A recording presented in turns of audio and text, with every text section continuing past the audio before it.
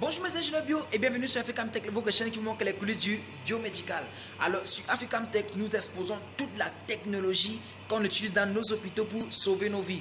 Et actuellement sur la chaîne, nous traitons un grand thème qui sont les équipements de laboratoire. Et actuellement, nous sommes ici au labo et nous allons étudier un autre euh, équipement, n'est-ce pas, du laboratoire. Nous avons même déjà étudié cet équipement-là, mais aujourd'hui c'est spécial, c'est phénoménal les gars, c'est waouh. Nous allons donc voir la, maintenance d'un équipement de, de laboratoire qui est tout simplement l'automate. Nous allons nous allons euh, maintenir, nous allons dépanner, nous allons réparer un automate. Les gars, c'est waouh! Donc, reste abonné jusqu'à la fin. Et euh, la panne que nous allons, n'est-ce pas, résoudre cet équipement-là, c'est une panne qui survient sur 8, 8 équipements sur 10 hein, qui tombent en panne ont ce genre de problème-là. Donc, si vous comprenez cela, si vous maîtrisez cela, alors les gars, vraiment, vous allez pouvoir ressusciter des équipements biomédicaux. Et vous comprenez que la maintenance biomédicale, c'est pas sorcier, c'est tout simplement fabuleux et c'est magnifique, les gars. Alors, tout de suite, demeurez. Allez, ciao. Et oui les gars, avant qu'on ne continue, j'aimerais d'abord vous présenter Njame Modeste, c'est mon nom et je suis technicien en maintenance biomédicale. Et sur cette chaîne, n'est-ce pas, nous vous exposons toute la technologie de l'hôpital, c'est-à-dire toute la technologie que, que nos médecins utilisent à l'hôpital pour sauver nos vies. Sur Africam Tech, nous vous décortiquons cela et nous vous donnons, n'est-ce pas, des solutions de maintenance, des solutions ingénieuses pour pouvoir, n'est-ce pas, effectuer la maintenance sur ces équipements, pour mieux les utiliser, mieux les comprendre. Et si vous voulez, n'est-ce pas, euh, faire cette aventure avec nous, n'hésitez pas à vous abonner, à liker et à partager. Et vraiment, ça nous fera du tout plaisir.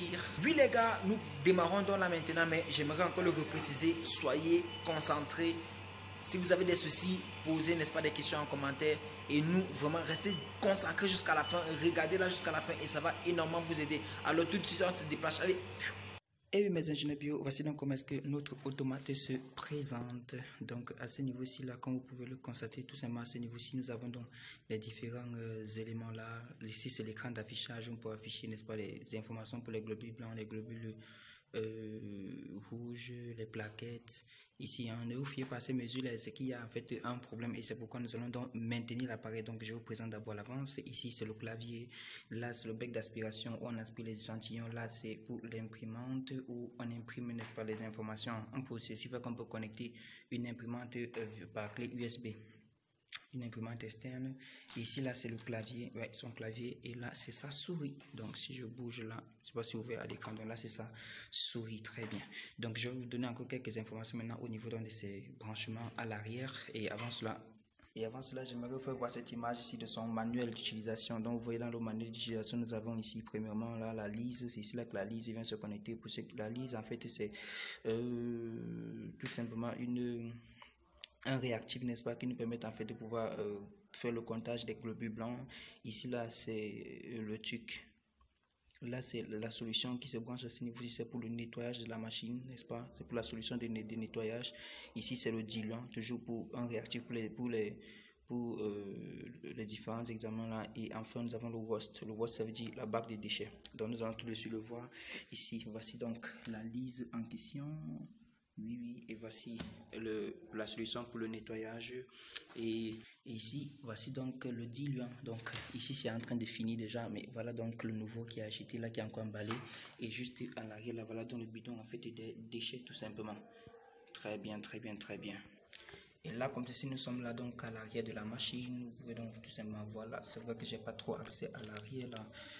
Ouais, voilà, voilà, voilà. Voilà les différents connectiques USB juste devant là on peut connecter la souris, le clavier. Si on a aussi une imprimante extérieure, on peut le brancher là.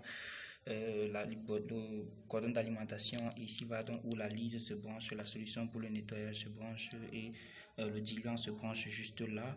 Et de l'autre côté ici, c'est donc là où se branche le, déchet WOST. Très bien, très bien, très bien. Donc, et oui, la maison ingénieur bio pour vous, donc vous montrer en fait le problème. Je viens tout simplement de lancer une échantillon hein, avec euh, de l'eau distillée, de l'eau distillée là. Pourquoi est-ce que je l'ai fait C'est en fait pour vous montrer la panne. Donc, on nous a appelé pour nous montrer, pour nous dire que la machine, en fait, elle n'arrive pas à faire l'examen. Si vous voyez les, les, les tableaux, vous voyez, les valeurs ne sont pas du tout bonnes du tout. Pourquoi? Parce qu'il y a un autre problème qu'il a eu, c'est que pendant que la machine fonctionne, lorsqu'on aspire, au lieu de donner les bonnes valeurs, alors qu'est-ce qui se passe On s'en rend plutôt compte que les solutions se versent au niveau de la table. Vous voyez comment ça s'est totalement versé là, ce qui fait que le comptage des échantillons n'est plus correct dans notre travail donc maintenant je l'ai fait pour que j'ai lancé n'est-ce pas, beaucoup plus vous voyez comme il est en train de se verser là. Si vous pouvez le constater, voilà, vous pouvez voir. Donc je prends ce petit objet là pour le mettre là pour que vous voyez comment est-ce qu'il verse, vous voyez, il verse complètement la solution. Donc on voilà pour que vous voyez bien, alors il y a les solutions qui se versent là, comme c'est pas visible, je vais donc mettre du papier, vous voyez, vous allez voir, vous voyez, alors vous voyez comment est-ce que, très bien, vous voyez ce papier là se mouille, c'est tout simplement quoi, c'est l'échantillon en fait qui se verse comme ceci. Et vous voyez les informations au niveau de l'écran sont carrément fausses, fausses, fausses, fausses, fausses, fausses. Vous voyez? Et là, c'est tous ces échantillons-là. Donc, si je retire, vous pouvez voir comment est-ce qu'il est totalement trempé. Donc, tous les échantillons se versent, vous voyez comment est-ce qu'il soigne là. Donc, tous les échantillons, en fait, se versent ainsi sur la table. Et là, nous allons donc tout de suite l'ouvrir et voir quel est le problème à l'intérieur. Allez, c'est parti. Et puis, là, mes ingénieurs bio, comme vous le constater, là, euh, j'ai déjà retourné l'appareil. Donc là, on peut encore bien voir les connectiques. Donc tout à l'heure, j'essaie d'expliquer et tout et tout et tout. Oui, oui. Et nous allons donc ouvrir en fait cette autre partie parce que c'est là où se passe toute la pneumatique. Euh, ou l'hydraulique, hein, si vous voulez, là où il y a tous les tuyaux. Alors on va juste tourner là. Très bien. On va tourner ça et on va le retirer tout simplement là. Allez, c'est parti. Voici donc où se trouve euh, toute la partie, n'est-ce pas, euh, hydraulique. Donc c'est là que nous allons travailler. Hein. ouais. Donc, ouais, ouais. Allez, c'est parti. Oui, et dans cette partie hydraulique ici, comme vous le voir ici, donc euh, vous savez, c'est la chambre de comptage, comme sur la vidéo précédente, comme vous je vous ai montré, euh, n'est-ce pas, le fonctionnement, n'est-ce pas, de, de, ce genre d'automate. Donc voilà, donc ces deux chambres, là c'est la chambre de comptage des globules rouges et là c'est la chambre de comptage des globules blancs. Donc on peut tout simplement les enlever. Je vais essayer de les enlever pour que vous puissiez voir cela bien de plus près à l'intérieur. Oui, et bien les gars, comme vous voyez là, voilà donc euh, j'ai retiré donc, ouais, c'est juste une coupole là. Vous voyez, n'est-ce pas Vous voyez le problème à l'intérieur, les rouilles, parce que ça coule de l'eau, ça verse de l'eau et puis ça commence à rouiller le truc. Ok, donc vous voyez, voilà donc euh, les chambres, ça c'est la chambre de comptage des globules rouge et là c'est la chambre de comptage des globules blancs. Donc si euh, il vous arrive de comment ça va pour les identifier correctement, déjà dans le manuel vous pouvez le voir, mais si c'est que même vous n'avez pas le manuel de l'équipement, vous pouvez l'identifier n'est-ce pas à partir des, sources de lumière. La chambre de comptage des globules rouges n'a pas de source de lumière en supplément, mais la chambre de comptage des globules blancs a les sources de lumière. Donc ça vous voyez sur les côtés là, vous voyez? Très bien, donc à partir de ça, vous pouvez les déterminer. Correctly, correctly, correctly. Là, ce sont donc des électrovannes. Là, euh, Également, l'électrovanne, c'est la pompe qui permet de faire. Ici, donc, voilà, donc là où il y a la partie électronique, la carte électronique, vous voyez, donc là, c'est tout l'électronique de cette machine qui est donc là. Vous voyez, et là, c'est donc euh, au niveau de l'alimentation, tout simplement, comme vous pouvez le constater. Nous allons donc, euh, une fois après avoir fait cette petite présentation, allez, nous allons donc nous intéresser au problème proprement dit. Allez, c'est go c'est vrai que euh, c'est pas du tout ce que je m'attendais à voir à l'intérieur parce que ben, quand je l'ouvrais, j'avais déjà une idée parce qu'on avait déjà eu une fois à avoir cette panne et on l'a résolu. Et quand je l'ouvrais, je m'attendais certainement à avoir encore la même panne et vous le montrer. Et cette autre fois, en fait, qu'est-ce qui s'était passé? C'était que c'était au niveau, n'est-ce pas, des électrovannes là, vous voyez, au niveau des valves là. Donc, il y avait en fait des déchets, des dépôts de déchets qui s'étaient positionné à l'intérieur des, valves, des vannes là, et ce qui faisait que lorsque la pompe, n'est-ce pas, aspirait par le ballon, aspirait, n'est-ce pas, les échantillons, alors du tout, c'était bloqué, l'électrovanne était du tout bloqué, l'électrovanne de la chambre de comptage des, des globules blancs, c'était bloqué. Et puis, qu'est-ce que ça faisait? Euh, Une fois l'échantillon déjà rempli la chambre de comptage, qui est juste en haut là, une fois que l'échantillon l'avait rempli, alors il n'arrivait pas du tout à l'évacuer. Pourquoi? Parce que lorsque la pompe aspirait pour évacuer cela au niveau des déchets, alors l'électrovanne était bloqué euh, pas parce que les l'électrovanne était en panne, pas du tout, mais tout simplement parce qu'il y avait des déchets à l'intérieur. Donc, du coup, l'aspiration ne se faisait pas et puis ça remplissait la chambre de contact. Lorsque, par exemple, la solution de nettoyage venait pour nettoyer le circuit, alors ça venait recouvrir encore l'échantillon de la chambre de contact et ça remplissait au point où ça débordait. C'est même pour ça que vous pouvez voir un peu des petits euh, trucs, un peu comme des petits rouilles là. C'est justement pour ça parce que ça débordait et puis ça se versait donc à même le sol.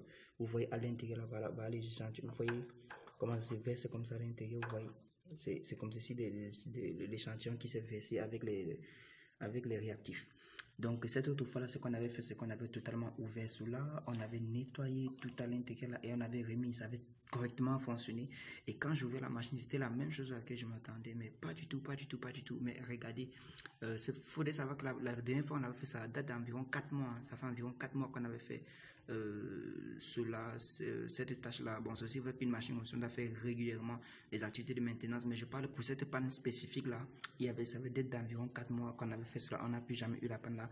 Et la machine a correctement fonctionné, on a correctement euh, travaillé. Mais aujourd'hui, regardez bizarrement ce que je viens de trouver à l'intérieur. Vous voyez, les connectiques se sont déconnectés au niveau de les électrovanes là. Et vous voyez là, voilà même celui qui pisse de l'eau. Il pisse complètement de l'eau. Et voilà là où il était connecté. Ah. Voilà, voilà là où il était connecté. Voilà, il pisse complètement il était connecté là, ils sont, complètement débranchés. Et puis, du coup, tout ce que ça aspirait, pouf, ça se versait au sol et ça se versait et l'examen ne se faisait pas. Donc, oui, les gars, comme vous avez pu constater, moi-même, je me suis planté au début, hein, les gars, parce que euh, on avait déjà eu, j'avais déjà eu à rencontrer ce problème-là. Vous voyez, euh, c'était juste, n'est-ce pas, les 16 électrons là qui étaient bouchés. et on a juste nettoyé, démonté, nettoyé, comme vous avez vu là, et ça a marché. Mais cette fois-ci, ça n'a pas du tout marché. Alors, quel est donc le problème? Alors, nous allons donc continuer. Allez, c'est go comment là, voilà dans les deux choses, vous voyez, là, ça s'est débranché et c'est lui qui pisse complètement de l'eau avec euh, cet autre élément-ci. Et voilà en fait là où il se connectait là et, et voilà l'eau qui se connectait là. Donc nous allons faire pour couper coup.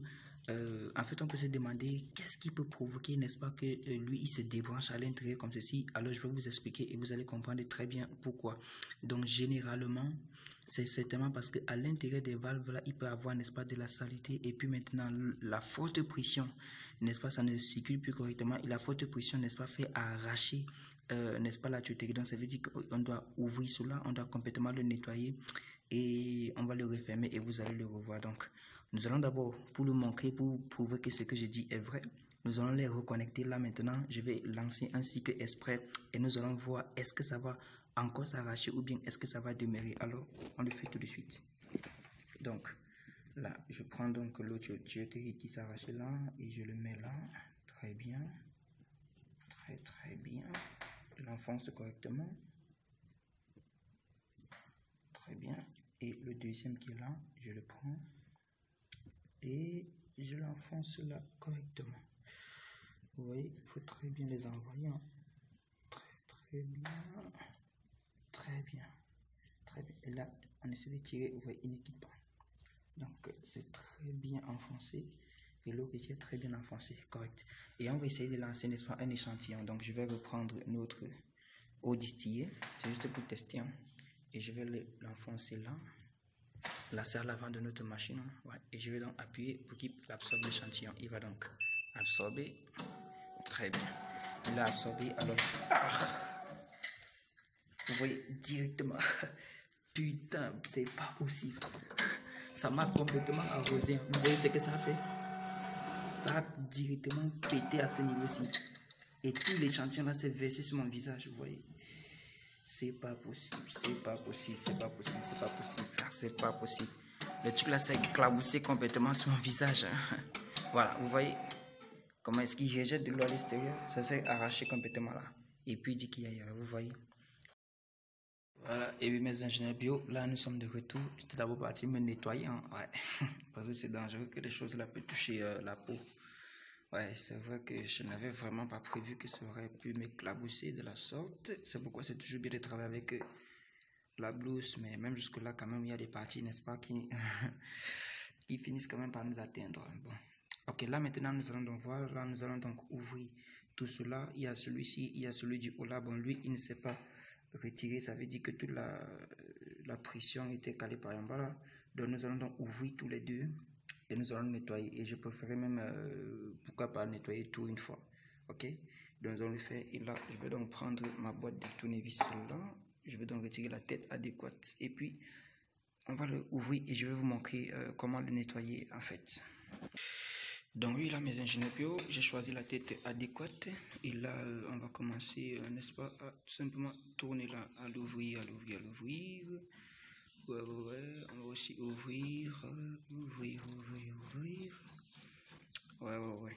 Donc, euh, je préfère d'abord euh, vous montrer une fois que je l'ai retiré. Ok, voilà la première vis qu'on retire. On installe là.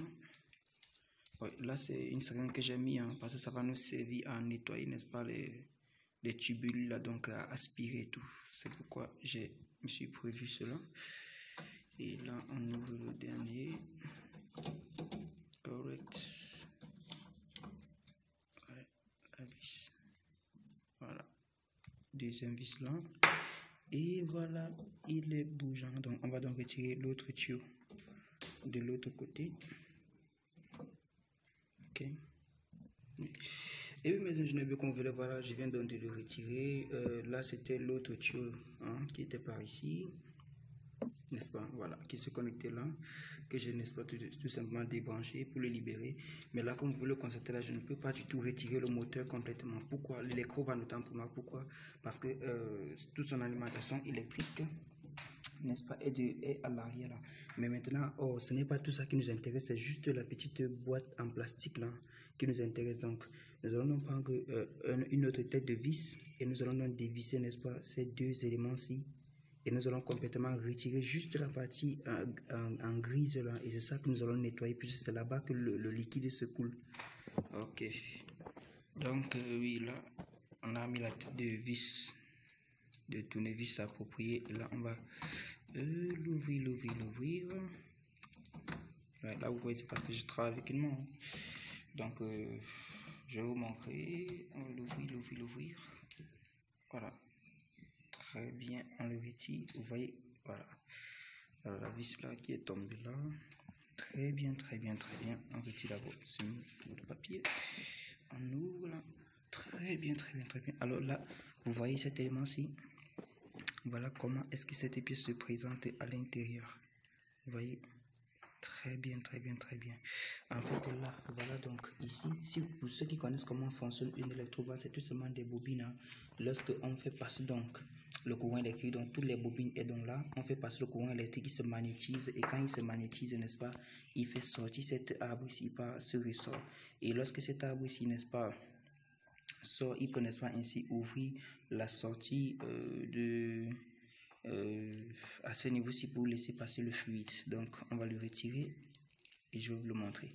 Voilà, vous voyez, ce sont ces, voilà comment est-ce qu'il se présente. Très important. Mais lui, il n'a pas de problème. Voici là où on va on se concentre et vous voyez là à l'intérieur là donc euh, voici l'élément que nous allons vraiment nettoyer avec notre seringue qui est juste là donc nous allons puger n'est-ce pas euh, de l'eau distillée à ce niveau et nous allons n'est-ce pas le pousser à ce niveau pourquoi? Parce que le, fluide il faudrait que toute la partie là soit complètement débouchée c'est très important de démonter comme ceci avant de le faire parce que si on le fait directement à partir de là alors vous voyez que la tête là Étant donné que lui, il bloque, alors ça bloquera, ça empêchera au fluide de passer. Donc, c'est mieux de l'ouvrir entièrement et de faire de manière à libérer tout le flux. Donc, nous allons le faire et, euh, et vous allez voir. Voilà, et oui, mes ingénieurs, comme vous voilà, avec notre seringue, n'est-ce pas, j'ai mis de l'eau à l'intérieur et je me suis servi, n'est-ce pas, d'une autre tuyauterie pour les relier ensemble. Et là, maintenant, donc, je vais tout simplement pousser voilà. voilà. Là, c'est pour le nettoyer complètement là. Très bien, là, c'est bon. J'enlève de l'autre côté maintenant. Pour... Voilà. Parfait, parfait, parfait. Et là, maintenant, voilà. Maintenant, on peut le faire avec même, je dis, là, c'est pour complètement le déboucher. Très bien très important cette opération-ci. Hein. Très, très, très important. Voilà. Super. Très intéressant. Voilà. Là, on est dans certain que notre embout là, il est propre. On va aussi prendre, n'est-ce pas, euh, le tête là, et puis on va le nettoyer correctement correctement. On va le nettoyer là correctement. Et bien. Correct, correct, correct. Faut éviter de perdre, n'est-ce pas, le restaurant.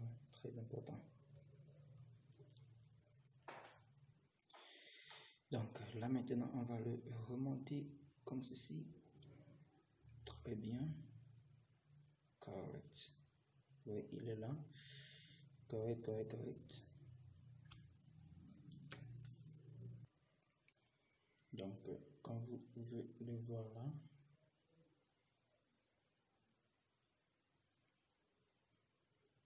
Il est bien propre et bien nettoyé.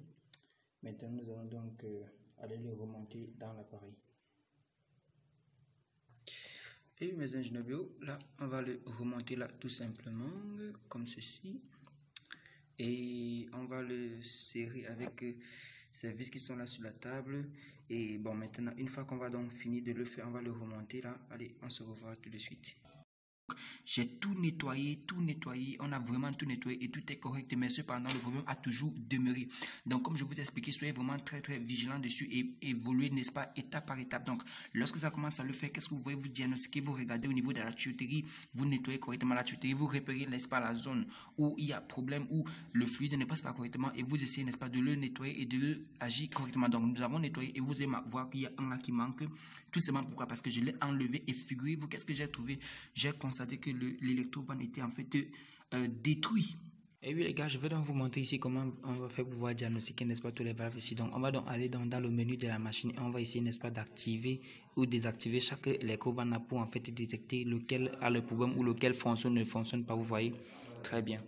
Donc, nous voici donc euh, à ce niveau-ci. Nous sommes sur le panneau de notre machine, hein. c'est toujours ouvert, voilà ça. Très bien, nous sommes donc là à ce niveau-ci. Voici notre souris. Nous allons donc venir. Nous allons donc venir dans l'onglet service à ce niveau-ci. C'est lui qui va nous permettre, n'est-ce pas, de voir tous les, tous les différentes parties de la machine, que ce soit la pompe que vous pouvez voir à ce niveau-ci, que ce soit la pompe ou les valves là, tous ces différents trucs, ou même les chambres là.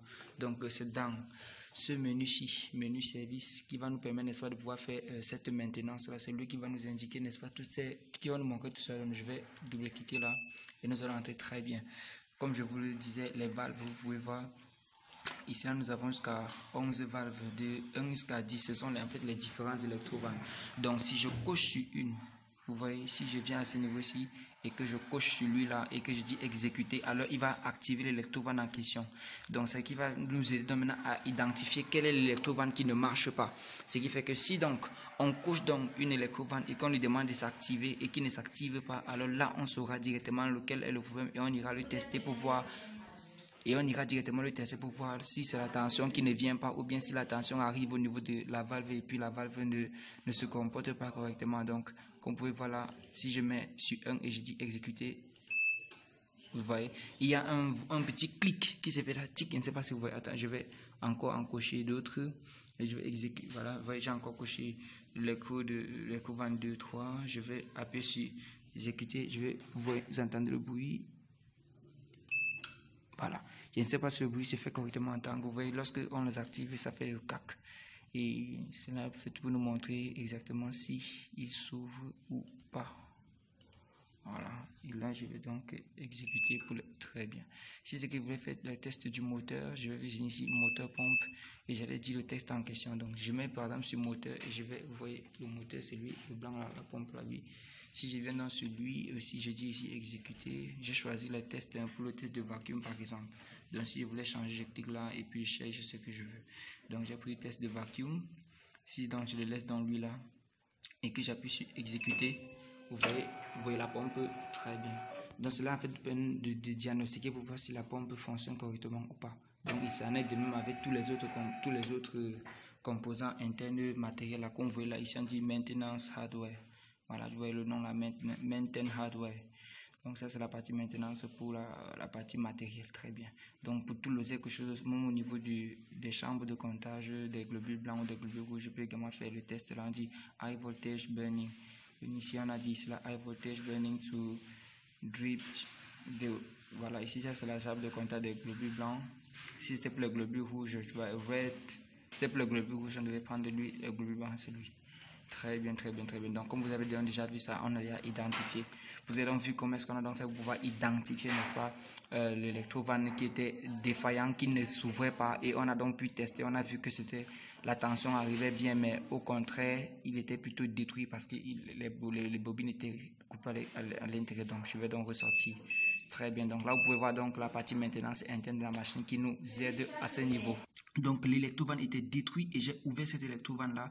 Euh, bon, je l'ai retiré. Je suis allé sur le marché. On en a fouillé partout. On n'a pas du tout trouvé une électrovanne de cette caractéristique. Bon, voilà. En fait, là, c'est son boîtier hein, parce que je l'ai ouvert. Vous allez voir.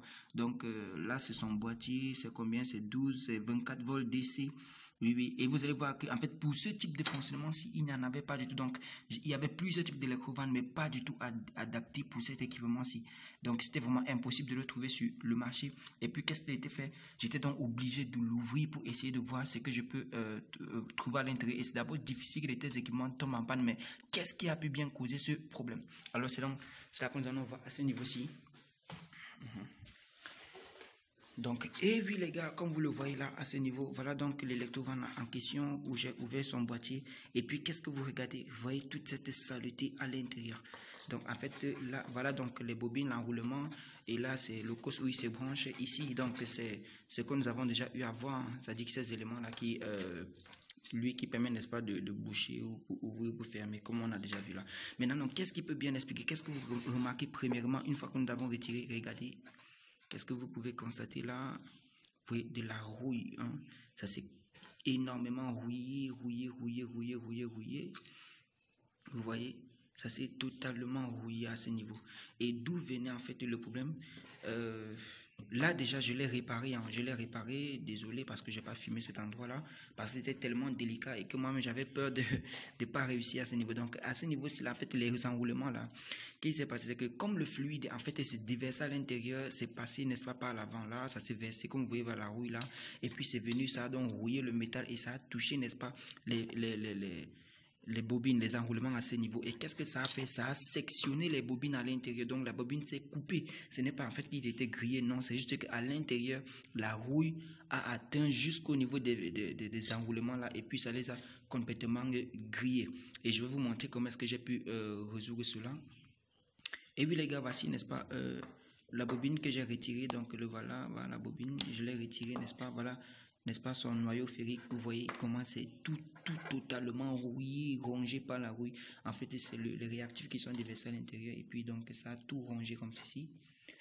Donc, euh, vraiment, ça a rongé et puis ça a détruit totalement le, le la bobine à l'intérieur. Donc, vous voyez là, ce sont les adaptations que j'ai faites. Hein. Donc, je me suis d'abord rassuré vraiment, puisque c'était très délicat. Je vais vous montrer tous les points de soudure que j'ai fait pour pouvoir le faire parce que c'était impossible de le trouver sur le marché. Euh, ce type de, de, de, de, filaments, vous voyez, ce sont des équipements importés depuis hein, de l'autre côté de l'Atlantique. Et puis, du coup, vous trouvez vraiment des tels trucs, c'est vraiment difficile. La seule moyen de commander cela depuis le fabricant. Et là, vraiment, c'était pas vraiment chose aisée. Alors, j'ai essayé de bidouiller et je vais vous montrer euh, ce que j'ai fait à l'intérieur. Donc, je vais tout démonter ça et je vais vous montrer les points de soudure que j'ai fait. Oui, et bien les gars, comme vous pouvez le voir là, j'ai donc ouvert, vous voyez, vous voyez toute la roue là, ça a coupé, n'est-ce pas, les sections à l'intérieur, mais là, c'est encore un peu bien là. Et à ce niveau-ci, il y a des soudures que j'ai dû faire. Et puis, ben, c'est vrai que j'ai pas filmé. Ici, il y a eu le filament là, c'est coupé. Et puis, j'ai dû souder à ce niveau-ci. J'ai maintenu cela par ce scotch pour qu'il ne puisse pas euh, se défaire. Et même à ce niveau-ci, partout où vous voyez les scotch là, c'est là où j'ai fait les points de soudure. Hein. Ouais, voilà. Je viens juste de finir. Voilà le, le fer soudé en question. Donc euh, là, il aussi, vous voyez, je vais soulever là, oui, là ce sont les différents points de soudure. Donc c'était vraiment très très très délicat. Et c'est pourquoi j'ai pas voulu vraiment tout filmer à cet endroit. Parce que si je m'amusais, vous voyez, comme je travaille avec une main et filme avec l'autre, là, je m'amusais, je pouvais totalement abîmer cela. Vous voyez comment même les filaments, les enroulements ne restent plus correctement à la place. Donc, je vais, n'est-ce pas, euh, les remettre en place, les maintenir, n'est-ce pas, par ces différents scotch et pas son scotch original. Voilà le scotch qui était dessus, qui est venu avec. Donc on va tout le remettre en place et on va tout le refixer et on va le remettre à l'intérieur. Et puis maintenant, il y a, donc des précautions qu'on va devoir prendre la prochaine fois d'éviter en fait qu'il y ait ce genre de problème parce que si ça se reproduit, ça va réentrer à l'intérieur et ça va, n'est-ce pas, abîmer euh, cela. Donc euh, je vais le remonter et puis on va se revoir une fois que je l'aurai, n'est-ce pas, tout assemblé là. Et oui les gars, comme vous pouvez le voir là, voilà, on vient donc de le remonter à ce niveau-ci. Et là, euh, j'ai mis dans mon multimètre là pour tester, n'est-ce pas Au niveau des deux causes là pour voir si ça passe. Et voilà, correct. Le multimètre nous indique, n'est-ce pas, une valeur ohmique, n'est-ce pas, de, des résistances. Ça veut dire qu'on a réussi. Et puis maintenant là, il, et là, là maintenant, il marche. Donc, euh, on va juste le refermer totalement. Et oui les gars, donc là on vient donc de l'enfoncer, tout simplement, donc il nous reste juste à fermer le petit couvercle à l'arrière et ensuite on viendra euh, remettre les éléments internes euh, à l'intérieur là, donc lui il va donc entrer et puis lui va donc se fermer tout simplement là. Ok mes ingénieurs bio, comme vous pouvez le constater là, donc je viens donc de tout remonter à l'intérieur là, donc tout est correctement, vous pouvez voir, on vient donc de tout remonter les les électrovannes là, tout est correctement remonté et c'est bon, c'est bon, c'est bon. Donc, euh, nous allons donc euh, tout simplement le lancer maintenant et puis vous allez euh, voir le résultat. Donc, on va donc prendre un exemple d'échantillon là. Ouais, donc je vais prendre de l'eau un peu distillée quoi. Donc, c'est pas vraiment, hein, c'est juste pour tester. Donc, là, je vais appuyer, il va donc sortir et je vais donc mettre et on va appuyer. Euh, là, c'est pour juste tester hein, à ce niveau-ci pour voir s'il il crachait encore de l'eau. Puisqu'on on sait que notre problème de départ, c'est qu'il déversait de l'eau de partout. Et là, on vient donc de le faire. Vous voyez, tout est correct maintenant. Le voilà, il fonctionne correctement. Peut-être à ce niveau, tout se déroule bien. Les pompes, vous voyez, la pompe est là, tous les électrovannes fonctionnent, tout, tout, tout, tout, les fluides s'écoulent correctement. Maintenant, vous voyez, c'est perfect, perfect, perfectly. Donc, euh, comme vous pouvez le constater là. Donc les gars, nous venons donc de résoudre un gros, gros, gros, gros problème. Et c'est super, super intéressant. c'est super, super intéressant. Et c'est vraiment bien, bien, bien, bien, bien, bien, bien, bien. Donc à ce niveau, dit, voilà, l'écran, ça continue encore. Là, c'est pas ses résultats en fait. Hein. Donc ça continue encore à, travailler. Et c'est super, super, super. Donc oui, les gars, vous venez maintenant de voir toutes les, les différentes procédures qu'il faut faire. Très bien, très bien, très bien. Donc, les gars, comme je vous ai expliqué, donc, il y en a plusieurs. Donc, lorsque le problème survient, première des choses qu'il faut faire, vous contrôlez d'abord la tuyauterie. Comme on en a fait là, on en a contrôlé, on en a lavé, tout, tout, tout, on a enlevé tout. Si vous, je filme même depuis près là, vous ne vous ne aucun euh, cristal, n'est-ce pas, dans, les, dans la tuyauterie. Et pourtant, au début, il y en avait plein là-dedans. Nous avons tout nettoyé, le problème a persisté. Nous avons ouvert, n'est-ce pas, à l'intérieur des, des. Nous avons nettoyé et nous avons retesté. Ça a toujours encore persisté. Et maintenant, on s'est donc attaqué à chaque électrovan. On en a testé et on s'est rendu, on s'est attaqué aux deux parce que c'était celui-ci qui était concerné avec celui du fond. Donc, nous avons testé et on s'est rendu compte que c'était cet électrovane qui était tout simplement détérioré. Pourquoi? Parce qu'il y a eu du liquide qui est entré à l'intérieur et puis euh, ça a créé de la rouille à l'intérieur et ça a coupé, n'est-ce pas, le filament. Nous avons dû le Ça a coupé, n'est-ce pas, euh, les bobines, je vais dire. Puisque vous savez que les électrovannes, ce sont des bobines qui sont à l'intérieur.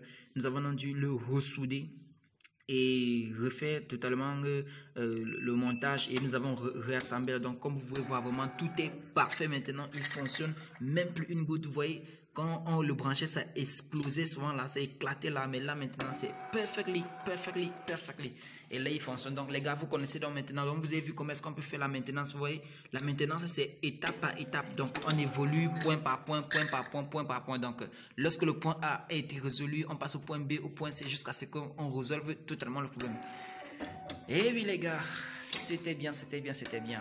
Vous voyez, on a résolu notre problème, notre machine fonctionne parfaitement. Donc, tout ce qu'il nous reste maintenant à faire, c'est seulement rédiger un rapport de maintenance et le remercier bon. Et oui les gars, comme vous avez pu donc voir la première, euh, première tentative que je suis parti, hein, la première panne qu'on avait l'habitude de voir, ce n'était pas du tout le cas. Et vous avez donc vu, euh, nous avons donc poussé plus loin et nous sommes donc rendu compte que c'était donc l'électrovanne qui était détruit.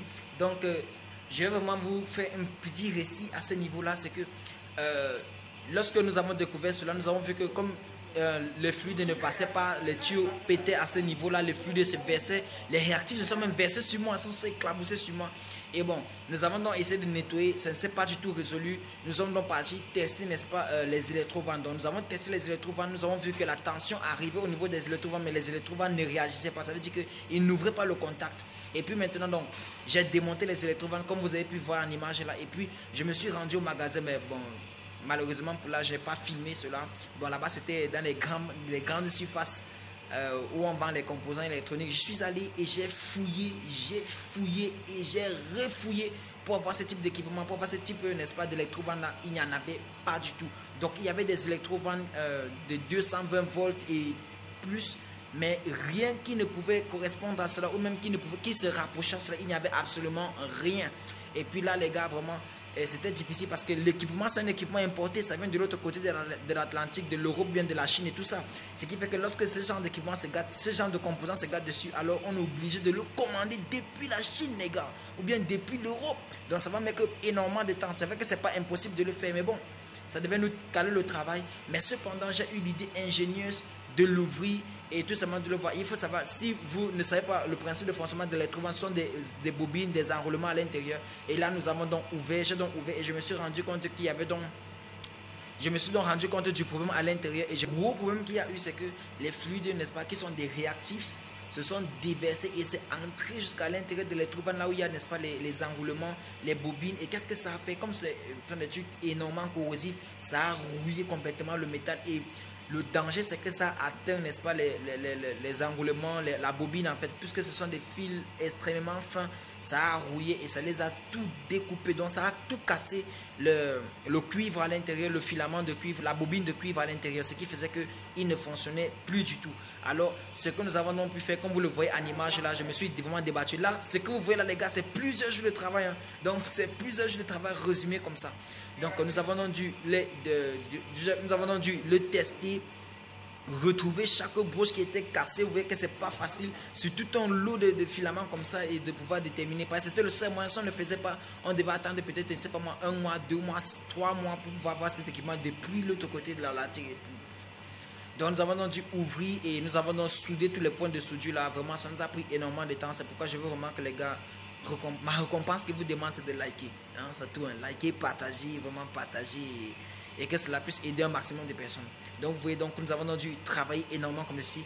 Et puis, boum Boum, les gars Et oui, quelle est la bonne nouvelle? C'est qu'après tout ce travail-là, l'électroband a fonctionné, gars. Les gars, c'était vraiment de la joie parce que moi-même, j'avais peur qu'à force de travailler, tu vois, c'est trop mince. Et puis, moi-même, je vais encore l'abîmer totalement. Donc, ça a vraiment marché. It works c'était fabuleux, les gars. Moi, j'étais encore content je suis encore même content quand j'y pense. donc, vous avez donc vu, les gars, et nous avons donc remonté et nous avons donc passé et puis la machine, elle a fonctionné.